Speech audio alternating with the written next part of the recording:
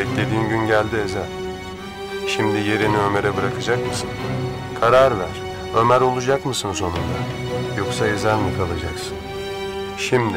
Önce kim? Önce hangisi? Ömer! Ömer!